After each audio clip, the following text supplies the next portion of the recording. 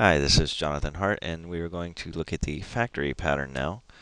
Um, so this is where we left off with uh, the series on the strategy pattern. If you have not watched it, I would uh, recommend watching it before this video. Um, so in the strategy pattern, we basically we broke out the go methods of our vehicle object into these uh, um, other objects called algorithm objects, and so our vehicles delegate the responsibility of going uh, to these algorithm objects. So you see here we have uh, internal protected um, guy called underbar go, and we're assigned the algorithms to go uh, instead of the actual vehicles knowing about their implementations. Um, now where we left off, um, the problem with this method is um, obviously the structure. We're creating five objects and making all five of them go.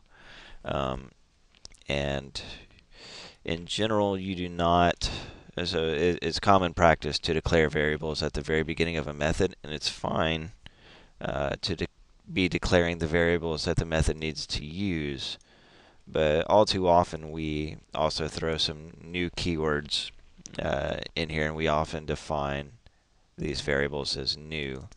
Um, and not that there's anything terribly wrong with that, um, but it restricts the flexibility of this method.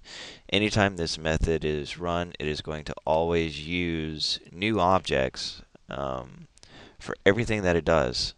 Um, and that's just, it could be more flexible, and that's what the factory pattern does.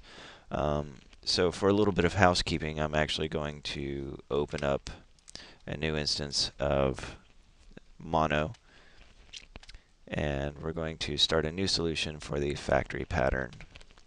So let's call this factory pattern. And this is going to help us uh, keep all these demonstrations kind of organized and separated. And I'll zoom in so it's a little more visible in YouTube.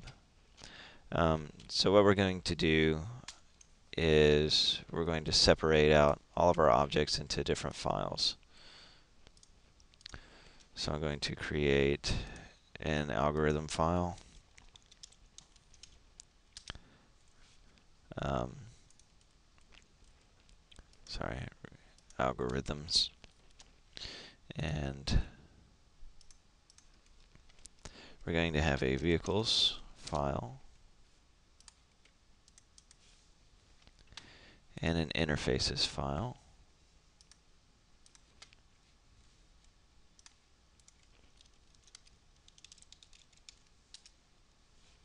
And lastly, a factories file.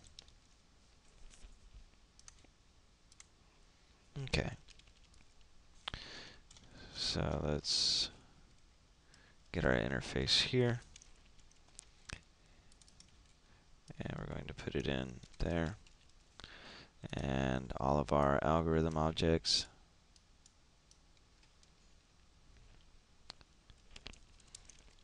we're going to put in the algorithms file.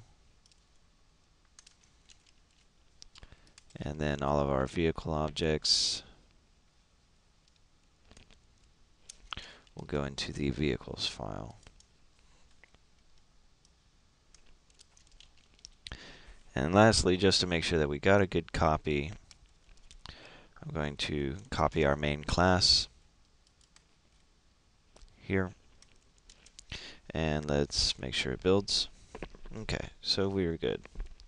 Now, so to uh, build on this a little bit, um, you don't need five vehicle objects. You really just need the one. And so what we're going to do is we're going to do an implementation where effectively we get some input from the user um, as to which vehicle they want. And then we're going to have some kind of selection logic um, to select a, si a single type of vehicle. And then we're going to make it go.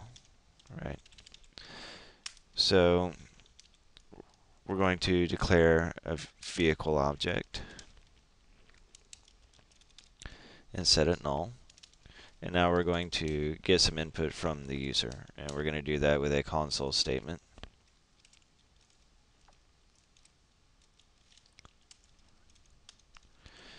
And just for good uh, for good form, we'll put a, a prompt. So we'll say what kind of vehicle?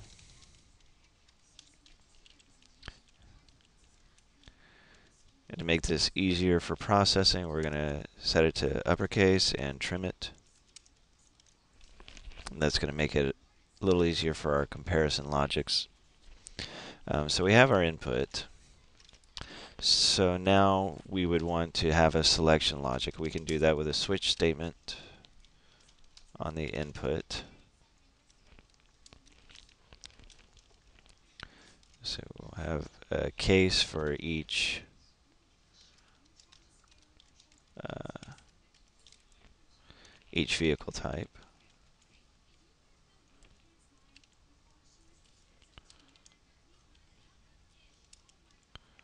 Okay.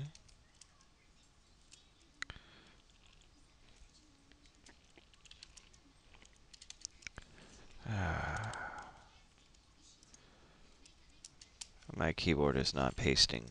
That's awesome. Okay.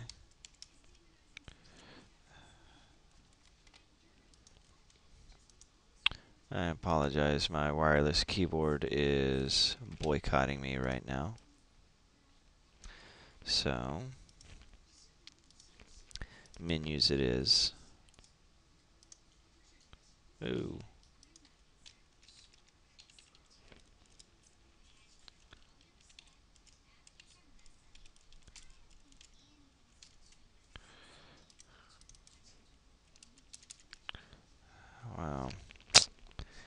It is really ticking me off here. So...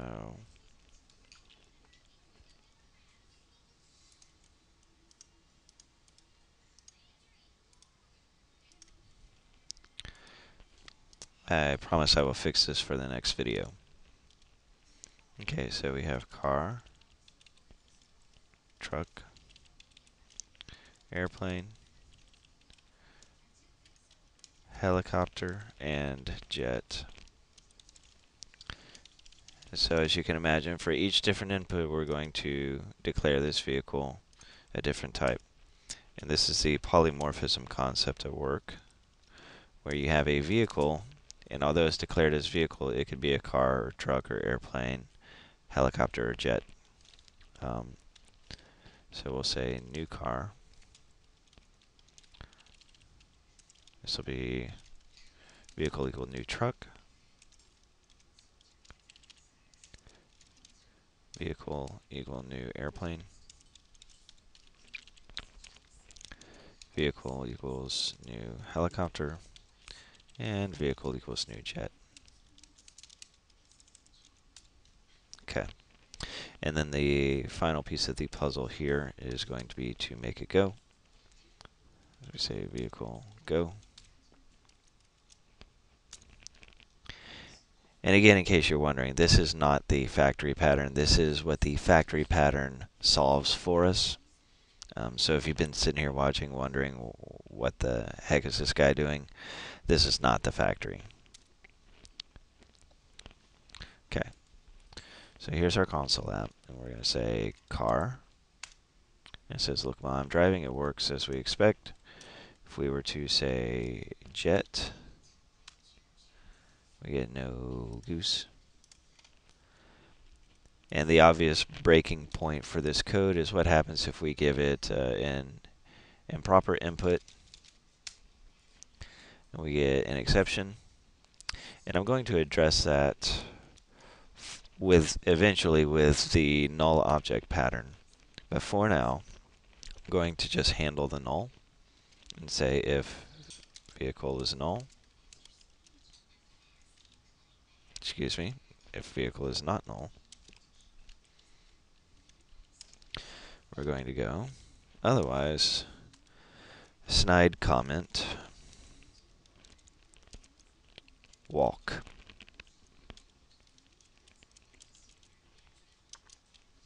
Okay, so now our program has a little bit of Jonathan's sarcasm. So you say, what kind of vehicle do you want? Uh, and you reply with gibberish, I'm just going to make you walk.